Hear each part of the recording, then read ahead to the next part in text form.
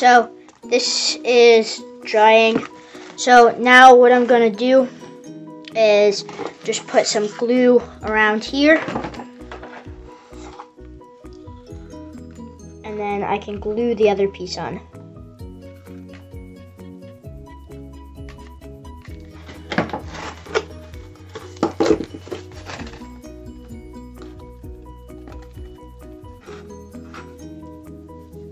Okay, so I glued it on. It looks pretty good. So what I have to do now is, because there's a little bit of hangover, I'm just going to go ahead and cut that off with my knife. There's that. It looks pretty cool. And then I have my stick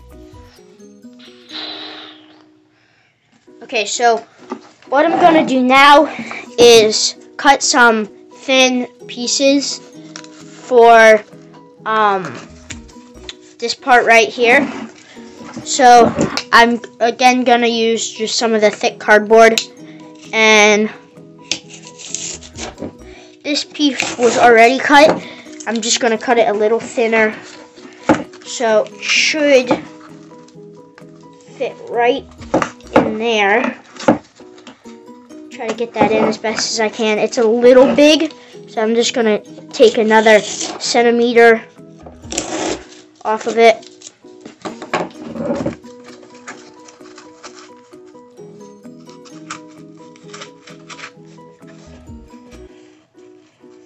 So what I think I'm going to do is just cut pieces of cardboard and layer them up so then it just gets it nice and thick. And I'm going to do that on this side. And then I'm also going to do it on this side. Okay, so I finished um, putting these pieces on. On this side, I put an extra piece on up there just to try to make it like smoothed out and all level. I'm going to have to put a piece there and going over top and stuff. Um, but this is what the bottom looks like. It looks pretty good. I cut these pieces at an angle, so just in case if you can see them, uh, it will make it, like, hopefully make it look like it's going into it. Uh, but I think it looks pretty good. So, what I'm going to do now is just sort of play around with it, put some pieces on here, put a piece over top. So I'm not going to use the thick cardboard right now. I'm just going to use some of the thin cardboard. So I'm really just going to play around. Take this piece of cardboard that I had laying around, just put it in there, cut it at the spot I need it.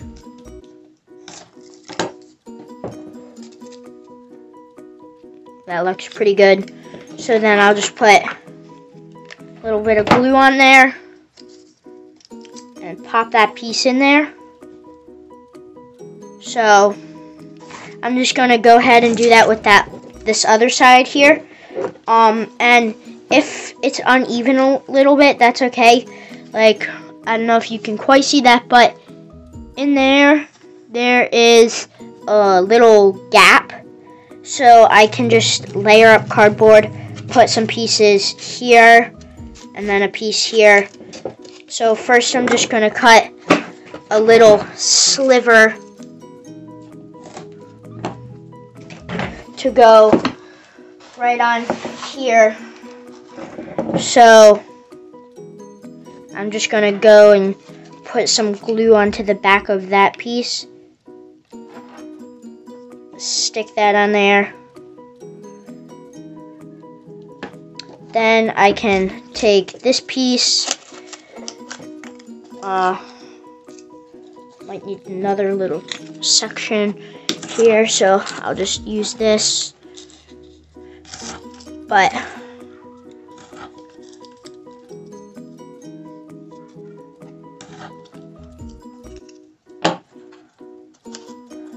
um that's a little small. So I'll just cut this piece here. And then cut that down. And do the same thing on this side.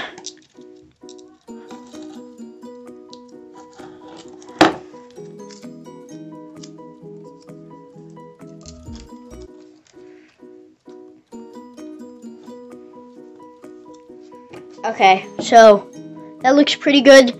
I mean, there's a little notch in there. So I'm just going to go ahead and try to smooth all of this out as much as I can and make it look like this is all one piece connected.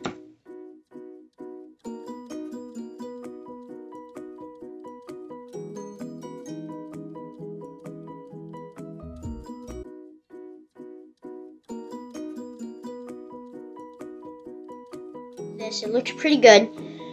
So you know how we had that back part that I traced uh, the spray paint can onto? Well, I decided since there's some like squiggly lines and stuff in there, I have a really good idea. It's like cool designs except soldered on there. So what I did is I made it a little bit bigger. I traced the bottom of this rubber cement bottle and then for that inside circle I actually traced it onto a piece of cardboard. Uh, I traced this lid onto a piece of cardboard and then cut it out and glued it on as best as I could and I tried to center it pretty good. So um that's what I did. And then what I'm gonna do is I'm gonna instead of using solder uh, I'm gonna use hot glue actually. So you really just go around and there's like a little bit of an outside circle so what I'm gonna do is just do squiggly lines all around and try to make it the coolest I can. But it's pretty much just some squiggly lines. So that's what it looks like. And then I'm going to let it dry. It finished drying. As you can see, it just adds a little bit of nice detail on there. Um, I think it looks pretty good. But all we need left is to paint it and the branches. So first I'm going to go ahead and paint it. Uh, for the head, I'm just going to use the silver spray paint. And then for the handle, a little bit on the handle, since it is a stick, um, it looks good. But I'm just going to add a tiny bit of brown spray paint just in some spots, like to cover up these marks and stuff. So I'm gonna go ahead and spray paint that. Okay, so I finished spray painting the axe head. Um, I did some brown in there. Like, some of them aren't fully covered, which is okay. Then, like, some of them are covered. But I think it looks pretty cool. Um, so now the part, the only part that we're missing is the vines or Groot's hand that's wrapped around it. So what I'm to use for that is I'm to use um, brown paper bags. This is what I think looks best. But then I'm just gonna cut strips and twist them and hot glue them. But then I can spray paint all the strips, but then wrap it around, and I should get a pretty good looking vine. So I'm gonna go ahead and make quite a few of these, um, and then I can go spray paint them. I finished all of these. I think they look pretty good. As you can see, they're like viney a little bit. Some are more flat. Some aren't as twisted. Um, but they're pretty strong. So I have those. And then I think I'm also to use a little bit of uh, pool noodle. Because if I cut strips out of it, uh, I will have some nice bendy strips. But for the top part, I'm, I'm definitely to use these. Maybe a couple of strips in here. But um, these will definitely look much better, at least in my opinion. So I'm to use some of these and just wrap it around um, till I get the desired look. But before I wrap them around, I have to spray paint um, all of the pieces. So I'm going to go ahead and spray paint those. As you can see, I have um, a piece of pool noodle that I can weave in there. Um, here's another small piece, but then I also have this, which is really good. Um, I'm not quite sure how I'm going to do it, but hopefully turns out pretty cool. So, I have Stormbreaker here, and I think I'm just gonna kind of play around with it. Like, wrap pieces around where I feel like they should go. So, like, maybe I'll put some right, a piece right here, and then have it go up and over, and then connect back down right there. Um, but I'm just gonna go ahead and put them all on and then try to um, melt it into here. And when I say melt it, I don't actually mean melt it. I mean like merge it so it looks like it goes into the stick and the stick is coming up around it.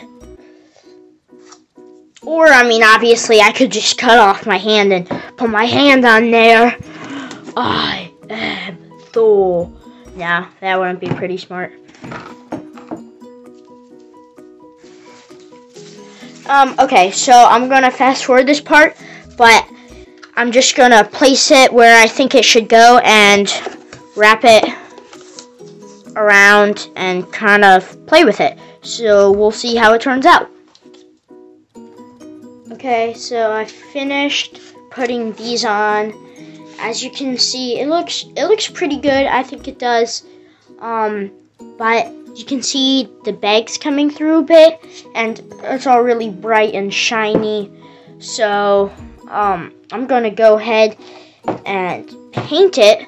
So if you watched my orc shield video, um, I explained how to paint it and stuff but I'm going to be using some of the same techniques.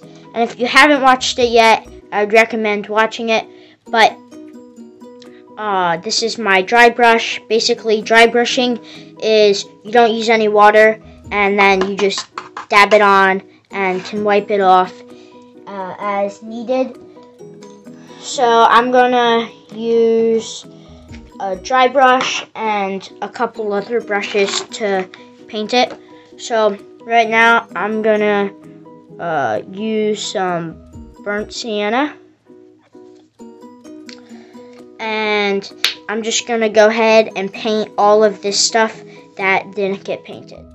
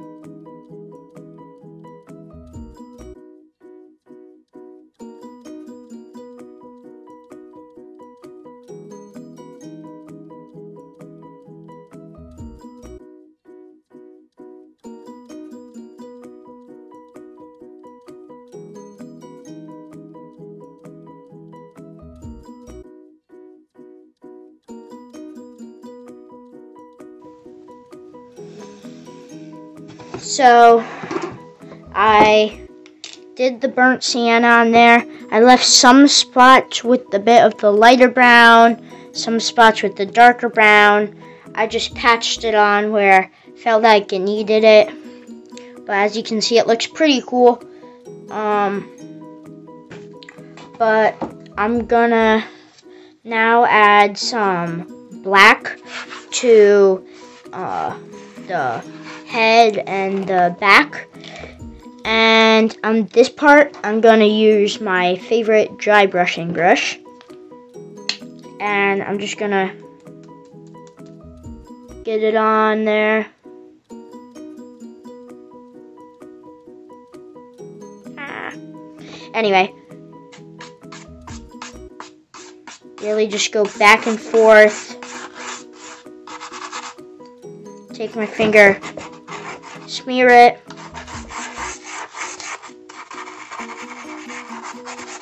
And I also use a rag sometimes, like when too much gets on, then I can just wipe it off with a rag. But it really just makes it look all cool and beat up. So I'm going to go and do that over the entire axe head and axe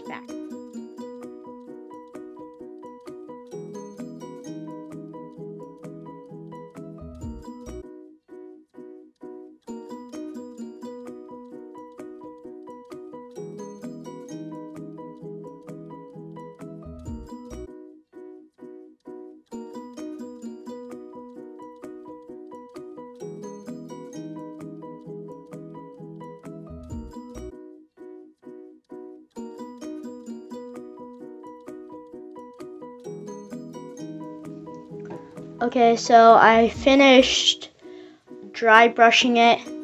Uh, so on the back here, I just put a lot of black paint over it and then wiped all of the hot glue off.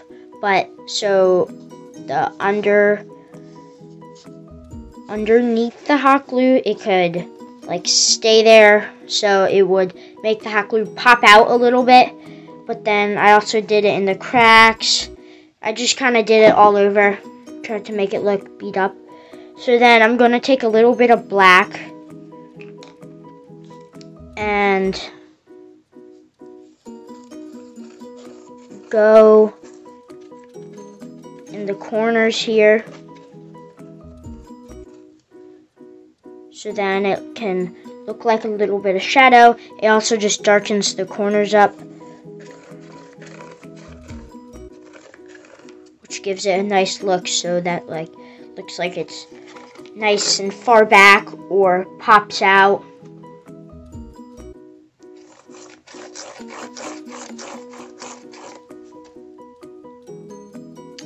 Um, so I'm just going to do that on this corner. And then do it on the sides here. But then looks pretty cool.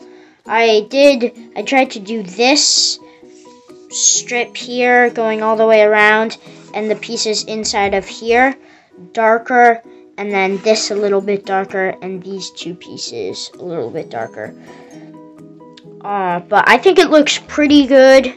If you want to add anything else to your Thor axe, then you can, but I think I'm going to keep mine like this. It looks pretty cool. I might add a couple more things, but I think I'm gonna keep it like this.